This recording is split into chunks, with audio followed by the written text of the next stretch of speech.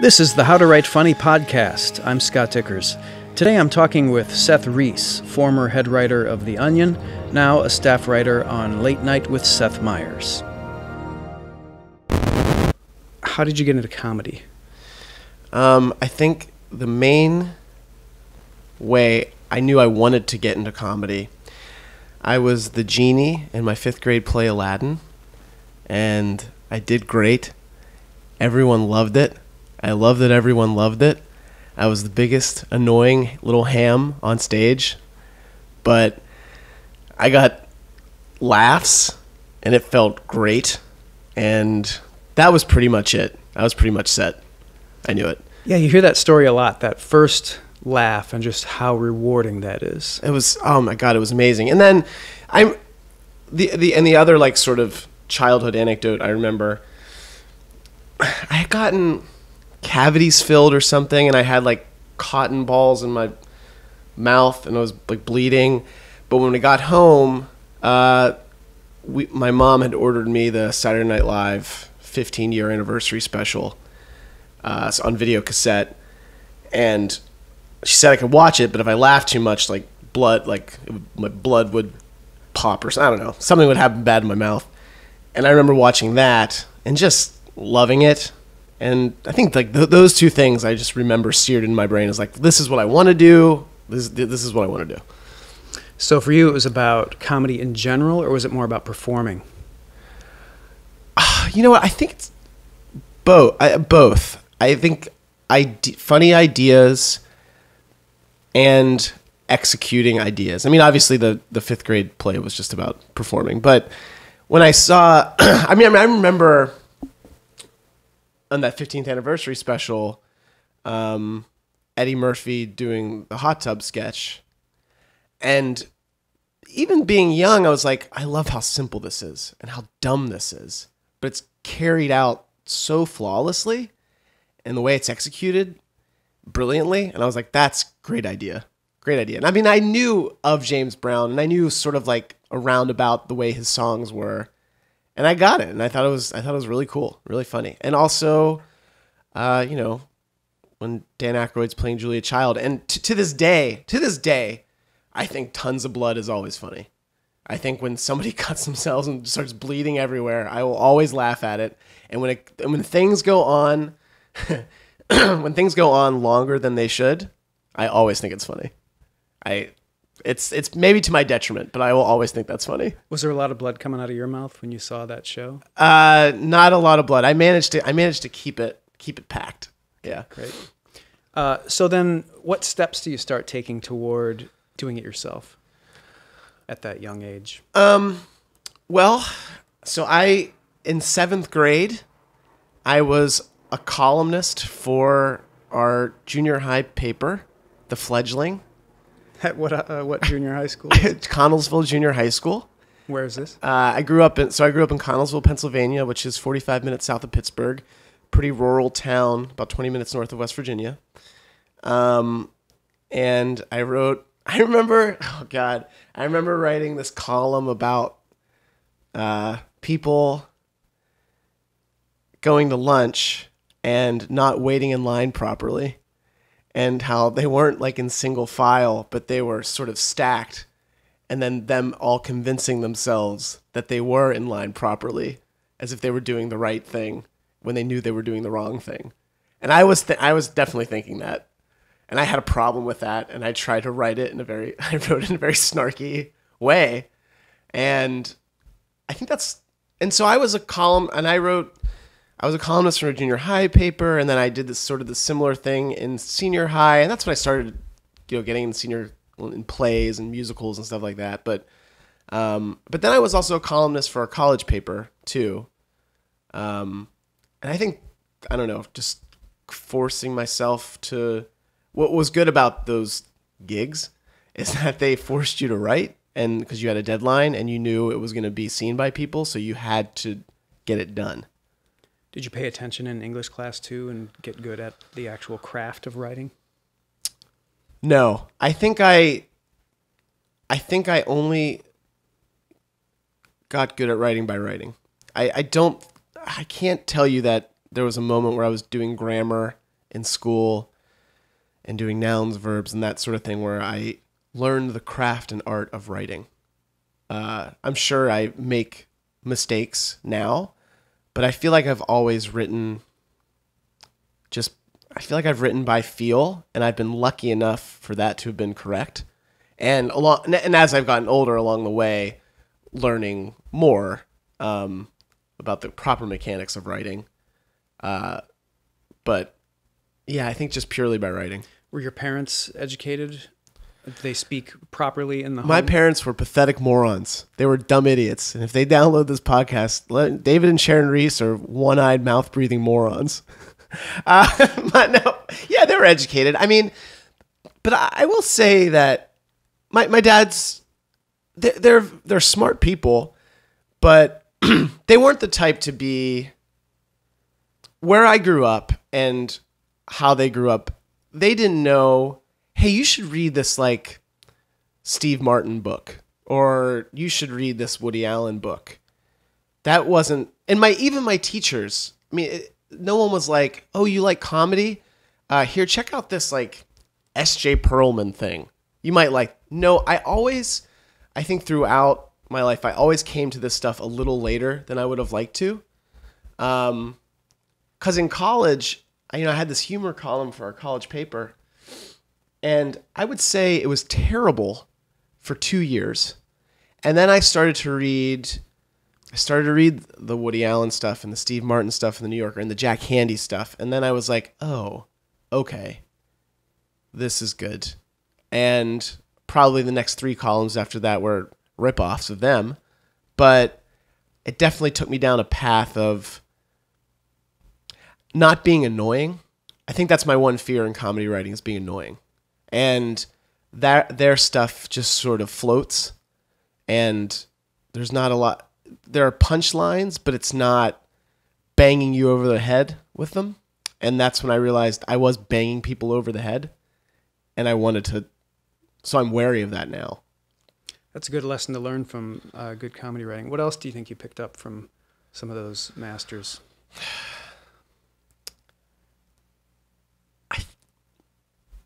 The importance of uh, maybe evergreen ideas and just like especially with Jack Handey calculated silliness.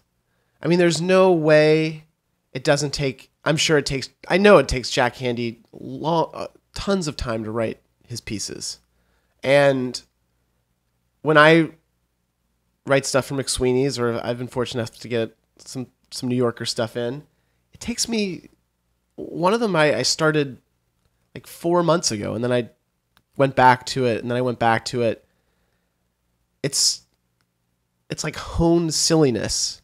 Um I, I or it's like I, I like to call it like controlled chaos. So the re- the reader doesn't necessarily know how controlled it is when they're reading it, but as they are reading it, they, there's a form to it, there's a build to it that was thought of for a long time before they saw it and tweaked a ton before they saw it. Right. So you sensed the the intelligence behind the words. Oh yeah. really affected you. Also, also, I mean, with, and I'm not going to say anything new to any comedy nerd who's going to listen to this, but um, the way that Jack Handey sort of pops in casual language in his writing is genius, and it's not. He knows exactly what he's doing. You know, he he gets it. Um, it's not because he's a dummy. He's very smart, and he knows that people at that point in the rhythm of the sentence will laugh at that. Right. So your path into comedy seems pretty direct, but I'm wondering if it was altered at all or changed in some way by um, puberty. Well- I was wondering how that was for you before and after puberty. Well, I think you. I don't know. I think you you've. I think you've said this, and I feel like I was like this in high school and junior high. You said an onion writer isn't the person in the party; it's the person outside the party, making fun of everyone inside the party. I think Carol Kolb said that. She said that? Yeah, I believe that's uh, what and maybe who secretly would like to be in the party. and I've always felt like that. Always. it's I, the outsider. Yeah, I've I've always felt I've never feel comfortable inside the party. I always feel more comfortable sort of snarkily making fun of everyone in the party, but also kind of secretly wishing I wish I could be like comfortable in this party. I wish I could feel feel comfortable standing. And I have good parents who taught me polite manners and but there's a part of me that's not very good at small talk and who would love for people love to be able to be great at that. But I in college, I was out of every party by like 11, 15. I was done. I couldn't be there. It was hot. It was disgusting. I was like, what are you doing? Are we having fun here? Is this actually fun for everyone? And the answer is yes. They were having fun. and I, I just could not reason in my brain why they were having fun. Because they were starting to get drunk, but like, I just couldn't fathom it. And so I would take solace in sort of picking or just seeing the sort of social more social mores or whatever that, that were happening and being like, uh, classic this, classic that. Know, here's this guy. Okay, here. You know, I, I that's that was the party going on in my like brain. You know, so I, I think that's always been consistent. Uh, maybe that maybe that started post puberty, but I, I didn't do it. I of course I love the attention. I'm not going to sit here and pretend I don't love the attention. But that said, I love the attention when it's good, and when I know that there's like a part of me that thinks, oh, I deserve this attention because this is good. And I hope people pay attention because I think it's good. It's real shitty when you get attention because it's bad. yeah. Uh, not to psychoanalyze you at all. And This is more in general. Well, this is the po- this is podcast world, isn't that what this is for? I guess that's, the hell else you I guess do? we can do that. We can do whatever we want. sure. So I'm pretending you're Marc Maron. Humans are. well, actually, you should pretend I'm Charlie Rose. Oh, oh. Yeah, okay. This is, this is Charlie Rose. Oh, well then I should have worn a suit. no, no, you're fine. Just just sound like you're wearing a suit. so humans are very social creatures. We okay. we're mammals. We need to bond socially with other people. But a lot of people just don't have the gene to hang out at parties and make small talk and network and do all these like typical social things that other people not only do and are good at, but genuinely enjoy. Right. People look forward to. They do. Friday night. Oh, I get to go out with Yeah. you know some people and have fun at a bar. And maybe you're one of those people like me and like a lot of other comedy people I've met who my, my stomach is just turned by that idea, like going out to a party. What a- um, but Well, I, I.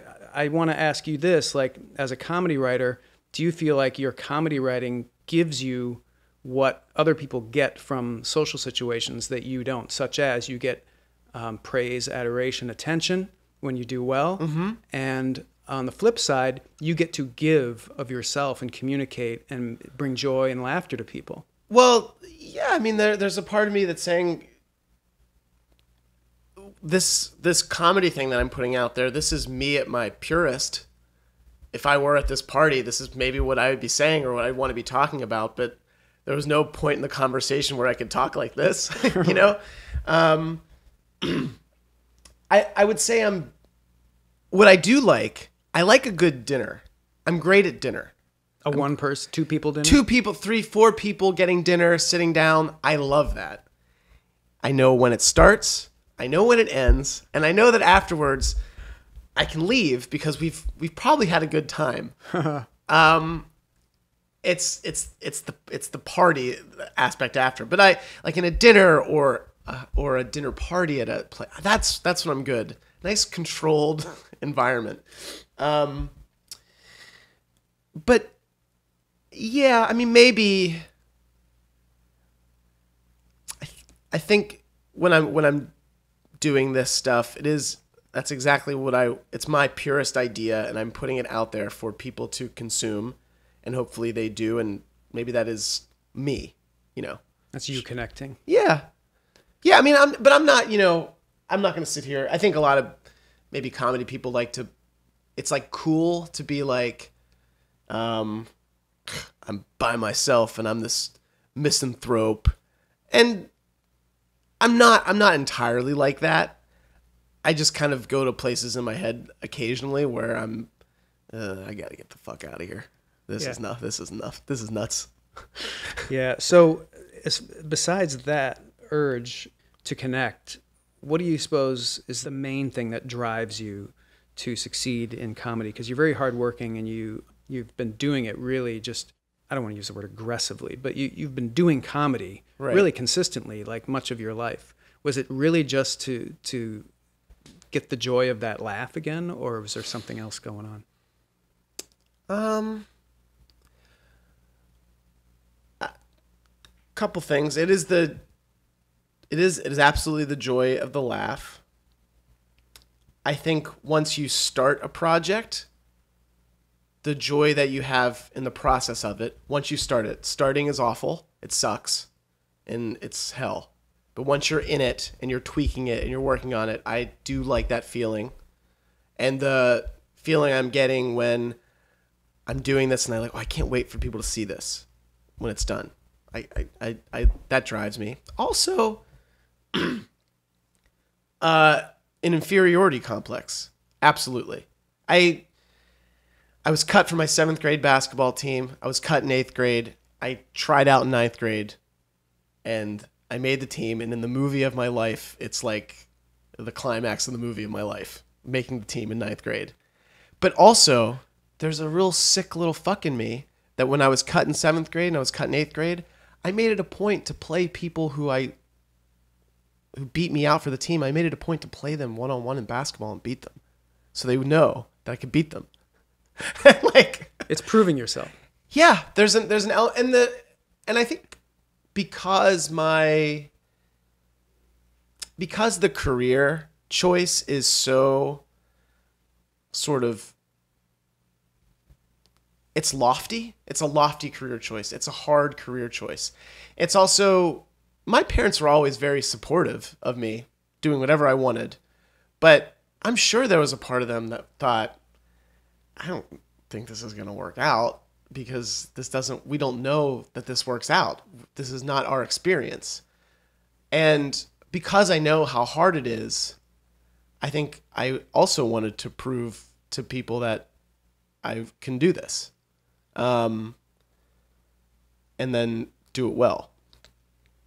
So I, I definitely there there is an inferiority complex with I think almost almost anything I do. I'm a I'm a pretty com- I'm a pretty competitive person. Uh, that said, I also really love. I also really love a group getting together and doing something special. Uh, there's at that point there really isn't a competitive bone in my body. Yeah.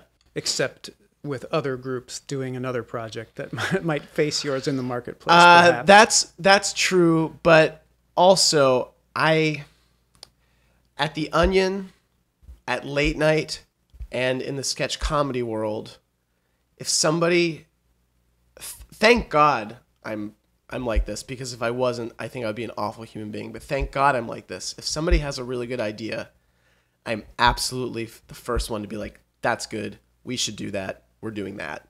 He had a great idea. Like Connor has a very good idea. Um, even if my idea was in the mix, I am happy, happy to push those ideas because when you're working it, especially when you're working in the service of an institution, it does not. It, it- if the onion looks good, you look good. If late night looks good, you look good. Seth looks good. That's and then to the world, the show looks good. That's what's important. Um, thank God I have that that gene.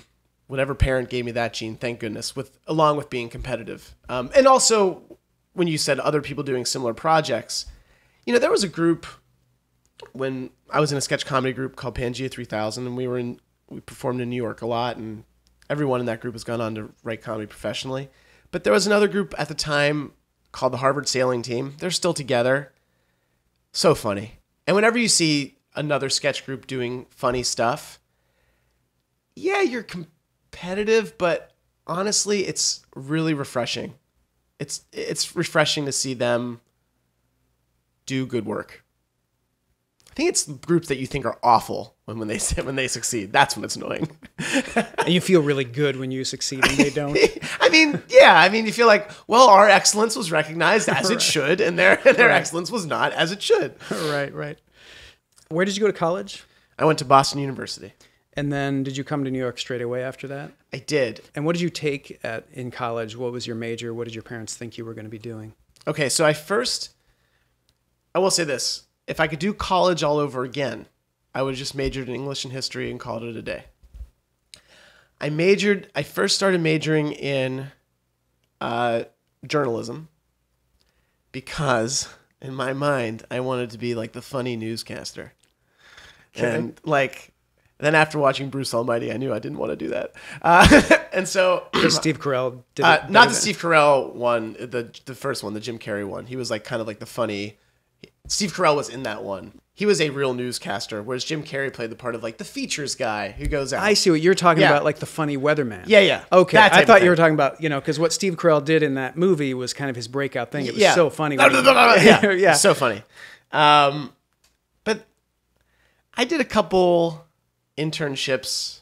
Did one internship at uh, WB fifty. Well, I did one internship at Radio Disney Boston, which was the worst time in my life. It sounds awful. It was terrible, and we had Radio to, Disney is just like a syndicate where they all play national. we had to go to like parking lots and set up a moon bounce and like be on the mic while kids played in moon bounces. And here's the annoying thing: I wanted to be good at it. I don't. I wanted to be good at it. And were you? I wa- probably I'm sure you were fine. Um, I'm sure you did great. no. Like I, I want. I wanted to be good at it. And now looking back, why did you want to be good at it? Ugh, you're so annoying. And then uh, I did an internship at the Quincy Patriot Ledger. So I'm in, majoring in journalism, where I was writing obituaries from like for like nine hours a day. Wow. You get a fax from, uh, and I wasn't good at it. You get a fax from a, a funeral home, and then you write the obituary from the fax. So basically, it's also free advertising for funeral homes, the obituary, the local obituary section. And it was that, it was kind of around there that I was like, ugh. At BU, they had like a film and television thing. And I was like, oh, I think I want to major in film and television. But also, that's around 2002 or 2000, 2002. That's when the oral history of Saturday Night Live came out. And I read that book over like Thanksgiving break. And I was like, this is, uh, this is what I want to be doing. I, I want to be doing this. Also, at that time, uh, also at that time, I'm reading The Onion too. I'm like, this is funny. Like, what what am I doing? Like, this is the journalism I like. this is not journalism. Uh, so when I got back for back from break, I changed my major to film and television. Um, as sort of like, this is what I want to be doing. Whether or not that ultimately helped me get to, to, to do what I'm doing, I don't I don't think it necessarily did, but I think in my mind it was like, that's a click. Also, doing sketch comedy in college was huge. Yeah. And is that where your sketch group formed? Yes, and so lucky. Uh, honestly, college be- became the infrastructure for our sketch comedy group. We were so serious about it, and I was lucky to be in the group with guys who were doing comedy. Dan Klein, um, Arthur Meyer, Zach Poitras, um, who were we were all in the group in college together, and then we reformed when we moved to New York, and we were all serious about doing comedy professionally. And it really did well, the sketch group, as Yes. sketch groups go. Oh yes, I mean we were the like we did festivals, we entered festival. I mean it was, and we did these huge semester shows. And you got uh, like agents and other like offers kind of came your way to do things, right? I don't know if no wasn't wasn't that, but we definitely made a mark Sure. when we would travel around. I think people were like, "Wow, that's very impre- very impressive, very good for a college group." And I think we were a good group. Now, if we wa- if we watch some of our stuff, uh, some of it's not funny, but that was good. It's good to be in college. You have a supportive environment around you, and you kind of if you're writing so much in college and putting out so much comedy in college, you really get get the crap out. A lot of crap. You get a lot of crap out. so that when you're done with college, you sort of have more of a hone voice. Yeah, you than you would your- if you start when you're when you're done with college. Put in your apprenticeship period. Yeah, and without even knowing it, Right. which is great. And then when you guys come to New York, you don't have jobs. you're just your all your energy and your ambition is focused on comedy. Do you get like temp work, or do you just Um, go right for? Well, so I so I did a lot of. So I interned at the Late Late Show with Craig Kilborn when was Craig Kilborn. I interned at Conan.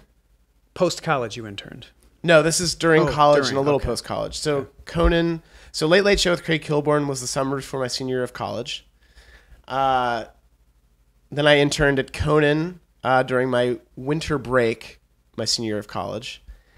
I interned at the Daily Show uh, right after college. So that kind of made that kind of made the move to New York a little more palpable because I had something sort of lined up. Then I was a page at Letterman. Uh, and also at that time, I around that time I started contributing to the Onion, and um, and I also did some acting. I did some like off off Broadway acting, and I wrote for I did I was in a children's theater touring play, uh, based. I'm sure it was an illegal adaptation of The Giver uh, that I was in, and um, I also wrote for this show because of this thing I did in LA, this essay reading thing I did in LA when I was an intern at Kilborn. I wrote for this show called Cheap Seats, hosted by the Sklar brothers, which is sort of Mystery Science Theater 3000, but for sports. Um, I wrote for them. So how did you? I don't know if it's a one answer for all, but how did you get all these internships? A lot of those are really competitive to get. Um, so Kilborn, I went to the Late Late Show webpage, and there was a section of it that said "Contact Craig." I clicked on it, and I was like, "Hey, are there any internships available?" And I got an email back from the internship coordinator, uh, saying, "Send me your resume and stuff." I mean, like I knew that I wasn't expecting an, uh, I wasn't expecting a response from Craig Kilborn. I was just trying to figure out some way to put some request out there. So sure enough, she got back to me. And then Christine Mason was her name, and she was an assistant for Peter Lassally, who was like huge in the late night game, executive producer of Late Show with uh, or Late Night with David Letterman. Um, and so then like she helped me get an internship at the Daily Show uh, when I graduated. Now Mike DiCenzo, he's he's a he's a writer at the Onion, and now he write, writes for the Tonight Show at Fallon. I helped him get an internship at Kilborn when he was interning at Conan. So then he helped me get an internship at Conan. And when did you guys meet? Mike DiCenzo and I met sophomore year of college. Oh, in so a in in a college. yeah in a TV writing class. Oh, okay. uh, and we took several TV writing classes together, and uh, we recognized in one another um, a kinship based on taste, and also a kinship based on a distaste for the other people in the class. Yeah, so you guys helped each other out, and then he was an intern at the Onion, Right. And I remember he came to me and said, and first of all, I should say that he was a new type of writer that we had not seen at the Onion Well, up he's to that point. Well, he's part. I feel like Mike is part of the the the new the new generation of Onion writers, Like the who, second generation. who who read the Onion and loved it and wanted to write for the Onion. Yeah. which was like I feel like you guys created something you had to create based on your voice. You had to do that because whereas us. We're like, we were like the people watching Saturday Night Live and like wanting to write for Saturday Night Live, wa- reading The Onion, wanting to write for The Onion.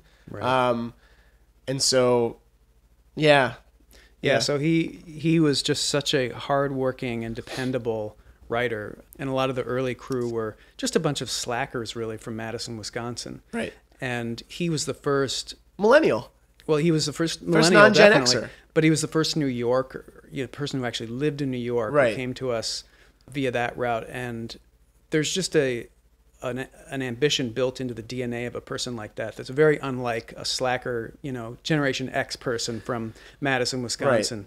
And he came to me and said, "Oh, there's this other guy. You should definitely look at his stuff. You think I'm a hard worker? He's ten times what I am." and I didn't believe it until until we brought you on. I was like, "Oh wow, you weren't kidding. He No. really cranks it out." Yeah. um, and cranks it out poorly until it gets good. Yeah. Well, that's that's how you Yeah. write comedy. Yeah. Right. Um, no, but Mike, what happened was when Mike got hired full time, another writer who had been there forever since Madison, John Krewson, said, I want to start a sports section. Mike said, "That's great. I know someone who can help us out." So I started freelancing for Onion Sports when Onion Sports first started, and I did that for about six months, and then I started, which was very lucky because Onion, I got in on the ground up of something that if we did it right, it was going to be successful, and I also didn't have to compete with the larger contributor pool that was freelancing for the regular Onion. So I was doing, I did regular Onion, I did Onion Sports for about six months, and then after that, I started contributing also to the regular Onion. So I was doing Onion Sports and regular Onion. I was doing pretty well, like money, like it's all relative at that point, but what I was paying in my Brooklyn apartment and like I was like fine, like I didn't, you know, my lifestyle. I've never spent more than my lifestyle. So I was always thinking, I'm great. This is fine. I can do this forever, you know? Um, and, but I, I always wanted to get hired. I mean, that was my ultimate goal. I would have done it all for free if I would have gotten hired to be a full time staff writer. So eventually I freelanced for about a year and then I got hired. And Mike has been instrumental. He's, we're very loyal to one another. If he ever needed anything or if I ever needed anything, he's, we would be there for each other. So he was, instru- he was, he helped me uh, put my name out there uh, for Seth for late night too. Let's drill in a little bit on something you said about how you what your process for writing comedy. You just write crappy stuff until it's good. I want to get a. Uh, Hopefully not anymore, but but I'm sure yeah. I'll look back on now the stuff it, I wrote it all last comes out gold. Like, I'm sure. So, but basically, what is your process for coming up with a joke and writing a joke? Like really, you know, zeros and ones. Like how does that work for you, or is it different every time? I think the best stuff comes from the best stuff comes from not when I'm just sitting down trying to think of something. The best stuff comes from just like walking around and I hear something or I see something, which is, and then I immediately write it down in my notebook. That's the best stuff, which is sort of not, it's if you're somebody who just wants to be in your apartment all day and not getting out in the world at all and not it's not conducive i mean it's it's antithetical to that. I mean the best stuff happens when you're actually sort of living. Because my i think my best stuff comes from like recognizing what's going on in the human condition. I think that's always when i where i've been best. And um, so that's when a germ of an idea happens. I'll think oh that's ridiculous or that and i'll think well what can we do with that and so you're noticing things that bother you, things that you can relate to, so, uh, the gamut of things. Yeah. So here's so here's an example. I, I sort of have an idea for a, a web series that's percolating, and um, I was at the I, I booked an impromptu trip to London. And I just I just got back from London two days ago, and I was because I haven't been I hadn't been there, and I was tired of not having. I didn't want to be someone who didn't do things. So I wanted to do something. So I did it. But I was in the National Gallery in London and it was they were going through like Renaissance paintings and I, I think the Renaissance paintings well, I'm sure they're done by the masters. I think they're very boring. But there was a guy, there was a British man talking to a group and what is very interesting about this painting? Uh, this is the first time it's square. Uh, and this is Jesus, blah, blah, blah. So I thought it'd be funny if the next one, and this is Jesus eat, eating a hoagie. What is interesting about this hoagie? This is the first hoagie where you can see the lettuce. You can actually see the lettuce. No one had ever shown that before. And I always and I thought it'd be funny if someone in the in like the group uh, raised their hand like, what about what about uh, what about Jesus with club sandwich? You could see a little. Ah, oh, you could, but that, technically, just like getting into like. So I like that's I'd like to do something with that, and that's it happened because I decided to do something and go somewhere and be about. and like that's that's when the best sort of I think germ of ideas happen. And when you are forced to sit in front of a blank page and write from non lightning bolt strikes from right. walking around on the street, what kind of process do you go through then? It's like this sucks, this sucks, this sucks, this sucks, this sucks, this sucks. You just need to start typing this sucks, this sucks you need coffee? Go get coffee. Go get coffee. Drink it. This sucks. That'll coffee coffee will give you some spark in your brain. It just sucks. This sucks. This sucks. Okay. I don't want to do this. I don't want to do this. I don't want to do this. I hate this. This is impossible. I can't do this all right, we're gonna. St- I have to do this because this is what I'm getting paid for. So okay, here we go. Let's start typing. Blah blah blah. That's not bad. It's not good, but it's not bad. But I'll leave it on the screen, so at least I have one down. Okay, next. that, that's all. That's that's it. Until, And you, get, hopefully until the- you get a bunch of those. Yeah, yeah, And then you go back and look at them, and maybe one or two is, oh, that, yeah, yeah. That's it. That's that's great. That's the process for writing onion headlines when you're just sitting and looking at a screen. It's the process for writing sort of gang written jokes for desk pieces at late night. You know, it's just like you're sitting at that. Yeah. you're coming up with the core concept that you're going to be Yeah. executing, Yeah. uh, or an idea for a sketch or whatever. So once you get hired full time at the Onion, then you become the head writer. Yeah. Uh, pretty. I mean, you, you were there like six years, I want to say. Uh, before I was head writer? no total. Total, I was the there for about eight years. eight. Okay, Um, great. including the year I freelanced. Um, okay. So, yeah, I was there from, yeah, I was there for eight years. So what did that experience do for you working at the Onion? Um, boy, I so much, so much. Uh, so, from a practical standpoint, when I got to late night, uh, I was able to produce segments, work with graphics, work with camera blocking pretty seamlessly because of my experience doing sim- doing same at the Onion uh, and also being able to give good notes and understanding the graphics is always there to give you exactly what you what you want. They always want to give you exactly what you want. Don't feel like you're stepping on people's toes if you're saying, ah, "I don't think this is right. Let's try this."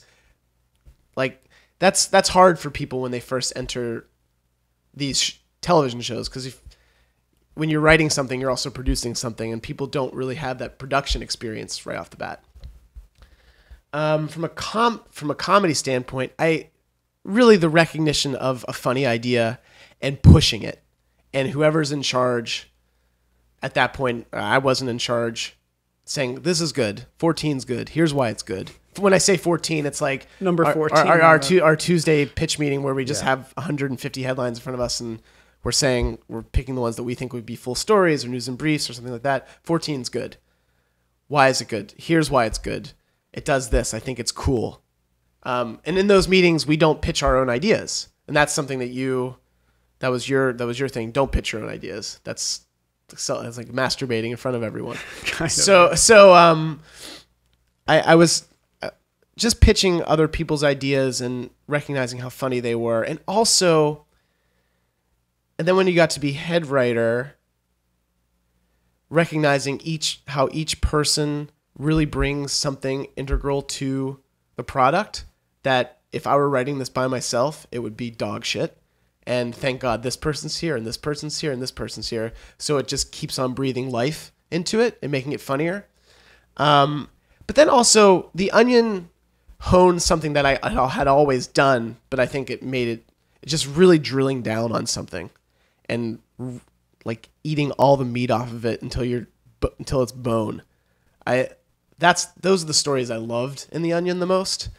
Also, The Onion does a lot of great uh, the inner psychology of a person and how their brain is working. They do a lot of great stories like that, and that sort of let me explore that even more. And I always find the working of the brain of who we assume to be a sane individual. Uh, ultimately, the inner workings of someone's brain and the thoughts that pops in, pop into their brain. If we all knew them constantly, we think everybody is mentally ill constantly. the, the onion allowed me explore to explore that. Yeah, and that's sort of where you've always lived comedy wise. You just really like that area of personal human foible. I Like do, Really inner brain foibles. And also, like sometimes I'll do like stories at ASSSSCAT. I'm not really great at telling stories. I'll do like the monologue and ASSSSCAT Yeah. that they improvise from. I'm not really great at the stories, but when I can find when I can click into the the mental machinations that go into each decision, that's when I feel like I'm actually doing something interesting because I always find it funny. Uh, people's thought processes about anything is funny. Like even just like walking into a Best Buy, looking at a TV you want to buy, knowing you want to buy that TV, but then going to another TV, looking at it, someone comes over to help you, say, No, I don't need help. When actually it'd be great if he just helped you. If you said, Yes, I need some help, you're like, No, no, I'm fine. I'm just browsing. No, you're not. You're there to buy. But you just didn't want to say that because you didn't want him to like crowd your space. But actually, it'd be easier if you did. Yeah, no, just those great little moments that probably everybody experiences. Yeah. Noticing those and making a joke out of them is one of the core raw materials of comedy. yeah. You know, Seinfeld obviously was, you know, one of the most famous to really take that and show people kind of how that's done Right. when it's done really well. Yes. You've had a long career doing that in print, and The Onion is well known for doing that as well. Like, Right. I often hear, besides like the fake news making fun of current events, it's the little personal stories about that's what can- that's area man yeah. or whatever. Like, that's people really have come to appreciate that. Right. And I think what I like to do, what I like to do that I like to take, I like it for it to get absurd. I like when it starts pretty grounded and then it gets, it can kind of get insane. I like that. Whereas I think, which Seinfeld is great at, he keeps it sort of, he keeps it sort of contained within the world that it's happening. I like to go to wacko land More like Carlin. Maybe, yeah, uh, yeah. Um, I like to go to I like to go to Wacko Land as long as I know that I can hook people at the beginning, and then because when I was first writing those humor columns in college, it was all like observational humor about school. That wouldn't know. get wacky. What's that? It wouldn't get wacky. It wouldn't get that wacky, and it would. And then that's when I realized, well, if it's going to get wacky, it needs to feel also uh, controlled in a way that's meticulous. Yeah, and I think that's what our sketch group Pangea 3000 did really well. We, it was like controlled chaos on stage. Americans, as a rule, I think, don't do wacky well. We're very contained and we're very intellectual, which is so ironic given who we Right. are as a culture. But the Brits have always been So much like the brilliant madcap comedy people. Right, and it's it always kind of bugs me. We do a we do a segment on the show that I love. It's called Crew Poetry, and Seth says sets it up by saying, a lot of you guys don't know this, but along with having the best crew in late night, they are also the most accomplished poets in the world.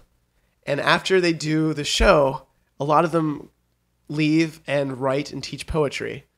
So here, here reading the poem "Zoom In" is our is our cameraman Jim Kelly, and like music plays and he turns and the lighting is different and he reads a poem about his job, but he's always introduced as like Nobel laureate, uh, like head of the national uh, curator of the National Poetry Foundation, and if people don't hook into that silliness early and don't get why that why that juxtaposition is funny early, they're going to be like, "What is this? Why is this happening?"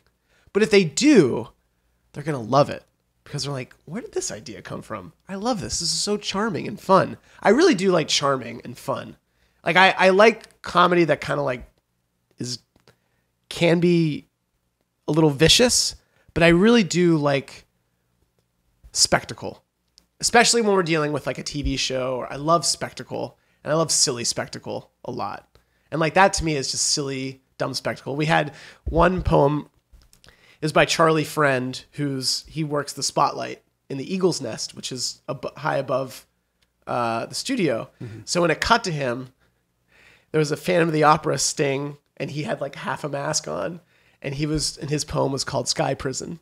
it was just about him how he was tucked away and he couldn't come down but he had to shine the light on other people and just like him feel feeling that about his job i loved i loved it because also like those the crew guys are the best they're so funny they're so normal you don't cast those people I there's know. normal people and Yeah. that's that's so funny You can't get that kind of Yeah. unwitting funniness Yeah, and of there's- a, an actor. and there's a certain flatness to their Yeah. to their read which is great yeah Yeah, that's that's something that I'm glad to hear you say you like because it's something I think Tim and Eric really got good at. Yeah. Is finding normal people who didn't have any on-camera experience Right. To be these incredibly unwittingly funny on-camera personalities. And then they would mix them with really good actors like a John C. Reilly Right. who was playing a person who Right. was unwittingly funny because they didn't have any on-camera experience. What is what is it about that unpreparedness that's so funny? it's it's there's no artifice. It's like it's It's totally raw. real. You It's- feel like people are connecting. yeah, on these are level. totally like real people. I think if if the segment is done well, these are totally real people who are plucked by these writers and told to say these things, and and and, and they have to say these things. So you're feeling a little bit of that visceral fear of a real person having to go up and read yes, some lines. exactly. And I and I, you know, Seth Meyers and I have talked about this too. I really do think the best or some of the most rewarding stage comedy is when there is a tension between the performer and the audience and that could fall either way. It could fall on the side of them not getting it, in which case it sucks and it's going to be painful. The whole thing is going to be very it's going to be 4 minutes of pain. But when it falls on the other side, if that tension just clicks to the right where they get it, it's the best. That tension is absolutely rewarded. That's the best. That in terms of stage comedy and performing for a live audience, that you cannot beat that. I lo- and I love that tension. I really do. Yeah. Did you see some of that happening when you interned at Letterman? Was he still doing things with like Biff Henderson and uh, crew members? Yeah, well, he always, he always did stuff with Biff, I, Biff. But the one thing that I always he wasn't doing as much of it, but one thing he I think he debuted when I was a page there was uh, this is the type of bit I love. It was putting away the late show bear, and he Dave Letterman would explain. So this this bear, he's uh, he's aphasia, I think is the word, and it's like he's he's hungry, and we have to put him away, and he's he's scary, and he's so each clip would be like it'd be like Elvis Costello walking down the basement of like the late show, and then the bear would appear and whoa, like roar, and Elvis Costello would have to wrestle the bear into like this door, close it, and every the bit always ended with like Elvis Costello or whoever the celebrity was leaning there, leaning back against the door and like wiping sweat off their forehead. Be like, whew, that was close. like, and I, I love that, and I'm sure some people watch that and were like, this is dumb. This is a dumb 30 seconds. But to me, I was like, that's a brilliant 30 seconds. And what was brilliant about it? Was it Well, first- specifically?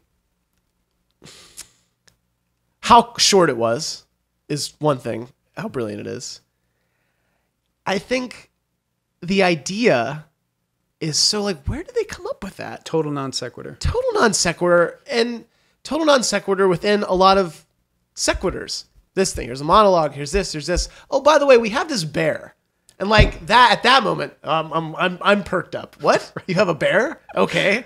Like and and that is absolutely thought out. Like that that aside that not and also he also you know letterman when i was still there he he did lyle the intern. Or the guy Yeah, would just come Lyle out and like intern. smoke. And like like he, and you can tell letterman loves that smoke and call him names and like, like uh yeah it- so I, I like those non sequiturs That contained. the contain not yeah that contain about. yeah Yeah. When you leave the Onion, you go straight to Late Night with Seth Meyers. It's a new show. well first i was at comedy bang bang i took I, That's yeah. right. You took a hiatus from the Onion yeah to I do Comedy Bang Bang. and i did i did comedy bang bang in la for like four months And how was working on that show? great. Scott Aukerman was great. It was a good, you know, a lot of those three month, four month gigs, they might not be. It was a, it was a perfect thing for me to do. And there's some wackiness. A lot of wackiness. Extreme. Some of the most extreme you're going to get in this country, probably. Yes, and he was also making fun. I mean, I I like making fun of the stuff that's kind of stupid, like the talk show format. That we've become so used to it, and that when it changes, it's people are like, "This is insane," is crazy. It is crazy. And the It's way crazy. they, they'll change it like 1%. Yeah, and, it's people like, go, like, he's really breaking What the, hell? barriers. The yeah. And like Scott's show early on was sort of like his Letterman show early on was really making fun of that sort of it was poking at that that uh what's the word? Um just that format. He was poking at that format. And Scott really the early on was poking at the format. Now he's he doesn't the show has evolved in a great way where it kind of does that, but it's also telling stories throughout the episodes. And, and my I wrote for season two. I think that's when they re- they started sort of making having story arcs throughout the episodes. But it was it was great, and um, he was wonderful to work with, and the the writers room there were great. I worked with a lot of guys who were in this group called the Birthday Boys, who ended up having a show on IFC, and they were just fantastic. Um, it was good for me to do. The Onion was nice enough to let me do it, and then after that, I came back to Chicago and worked at the Onion a little longer, and then got late night. Yeah. So tell us about how it is working on late night. And You went in as a um, a charter writer, right? It was like Yes. A new Yeah. show. Yeah. So were you part of the conversations of what the show is going to be and what kind of humor it's going to? You know have. what? I I think we never had conversations about what is this show. I think it was just let's start pitching ideas and we'll start doing the show. I mean, there was I think Seth Seth has a certain um Seth has a certain voice that meshes well with my voice.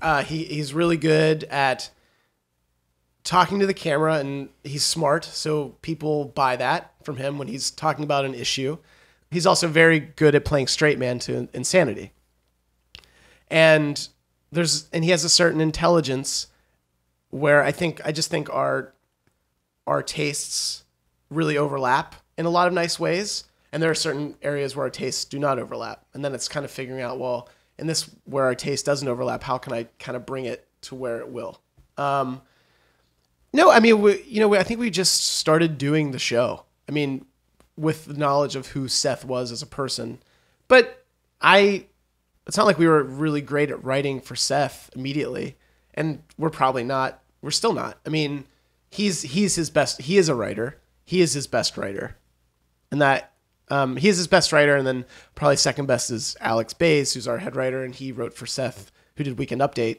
Uh, he was the head writer of Weekend Update. So he so they're he's his best writer and i think we're still sort of figuring it out Does stuff get rewritten a lot, or is it? yeah uh, everything goes uh you know the stuff that's really good really doesn't get rewritten that much but this everything that you see on the show goes through seth. He's very much a part of the process and i'm not just saying that because it's a good pr thing to say. He's he's very much a part of the process and i don't think his personality will allow him not to be. And that's the same thing if if I were hosting a show, my personality wouldn't allow me to just be like, okay, I'll say the words. Like that's not. Yeah, he's got to make him his own. Yeah. Does he go back to the group for a lot of punch up, and is there a lot of group work on stuff once it's ready to go? No, I think once it's ready to go, the next time it gets, is we, we'll put it up in front of like a test audience, uh, a monologue. It's called the monologue audience, and then from Where there, where do those people come from? They are tourists who are trying to buy, who are in the trying to buy NBC memorabilia, and they are they are rounded up and they are brought up to a studio, and if they can speak English, great. uh, yeah. And if they can't speak English, I'm so happy that they get to judge the comedy bits we've worked on for hours and hours and hours. I'm curious to know if that fire still burns in you to do comedy now that it's your day job and it's your career and by many standards of measure you've made it. You know, you're a professional, successful comedy writer. yeah. That, that makes you cringe. Oh, What- yeah, it does. What uh, you know, what's left to accomplish So much. for you? A lot. There's a lot that I'd like to do. What would you like to do? I get overwhelmed by it. Um, I'd like to do something that's my own thing. I've sort of worked within these institutions um, for a while, and I've made them my own, but through the lens of the creator. When I write sort of McSweeney's pieces or New Yorker pieces, that's me in my purest form. I like to do that. I like to broadcast that. And, you know, I'd, I'd like to write a show. That said, whenever we, whenever I start thinking about writing a show or a movie, I don't think they would be comedies. Um, What would they be? I think they'd be dramedies. I when I whenever I think about writing a movie, the movie that comes like movies that come to my mind immediately are like Sideways, Nebraska. I don't think I could write Step Brothers. Um, I I think they're funny. I couldn't do it. I couldn't. I don't think I could write Anchorman. Um, those just aren't the story like the things that immediately pop into my head of things I would want to talk about. Um, like I have one movie idea for sort of a lawyer who's facing retirement, and I'm like, well, this is a Golden Globe Globe nomination for Tommy Lee Jones if he wants to do it. This is- Totally. This is going to be this is going to be Paul Will Newman got one. yeah. His, so his like, retiring lawyer movie. um, so I'd like to do something like that. Comedy wise, though, I mean, there's like I said, there's a, a web series that I'd like to do, and whatever happens with that, great. But I'd like to produce it and be in some, and I feel like I could churn out a lot of them. I whenever you're starting from a place, I like a, I like like I said, I like absurdity, and that's I think that's hard to do. It's hard to do in like a 30 minute chunk when you have to worry about story. You know? I think I'm not good at that. I'm not I, when I when I watch television, I usually watch dramas. Um as 30 Rock is really funny, but I I don't necessarily I would ne- I don't know how much I want to worry about how we get Liz Lemon from point A to point B. Yeah, they did a great job of having the minimal amount of story you needed, Right. but still get really absurd. Right. And a lot of people thought that was, you know, what wasn't working on the show. But to me, that's what made the show so special. Um The, the absurdity. but I I also understand the importance in that of hanging you need the story to hang your hat on. I get that. Yeah, if you just did wackiness for 30 Right. minutes, people would be bored stiff. Right. So I think in a comedy context, I'm great in 4 to 5 minute bursts in sections of those. That's when I think I'm at my best comedy wise. Web series, therefore. Web series are, you know, if there's some sort of way you can find a th- thematically find a way that it could work on a Comedy Central or something like that. Yeah, or the, you know, there's sketch shows. Right. Obviously, something like Python did an amazing job of figuring out really unique ways to structure each Right. show. So it And didn't that have to I have like. a plot, but Right. it would have a structure. And the through li- like yeah, I, amazing work there. Um, Yes. and I don't know if you could even get away with that in America. I mean, they there are a lot of sketch shows now, and they all kind of do their own thing. right. And they're sort of a genre, and I think there's a way that you're expected to do it in America. Right, right. But what do I know? Um, but then you know, Mr. Show did sort of did that Monty Python thing, and Yep. um, I feel like now there's pr- one thing I and I know he's he's my he's my boss, so this sounds like I'm a shill, but the show there's a show on IFC now called Documentary Now. Have you seen it? I have not seen. it you would love it. You I'll would have love to check it out. because everything is played straight. It's parodies of famous documentaries. There's nothing like it on American television. It feels like a British show. It really does. And it stars Bill Hader and Fred Armisen, but it also casts a lot of normal looking people to fill out like a cop feels like a cop. And it's they're delivering these lines and they're really funny. It's excellent. It's so good. And Seth Meyers produced the show. Uh, yeah, he did along with uh, Bill Hader and Fred Armisen. That's and a good tip. they're it's an excellent show. I'm when I watched it, I was like, oh my god, I was I was like jealous. When I heard the concept, I was jealous, and then when I watched the show, I was more jealous because I like this is great. This is I would love to do something like this. That's and it's good because it's telling a story a little bit, but it's it's telling a story, but the characters are all very funny, and the talking to camera stuff is all it's used really well, and that's probably what I'd be best at writing for in terms of like episodic. Yeah. Yeah, well, that web series you did for The Onion, the uh, This Day in History with Yes, The Onion. yeah. I was very much like that. Yeah, it was. Yeah, it was, and I and I loved playing with. What I liked about it too is the the professor character. We could he could play and he could perform, and I liked his performance. He was so good. Yeah. such a weirdo, and he was really funny. Yeah, Great. Uh, well, best of luck with all that stuff, Seth. thanks, Scott. It's been a pleasure chatting with you. How are you doing? I'm great. Thanks for having me. no problem.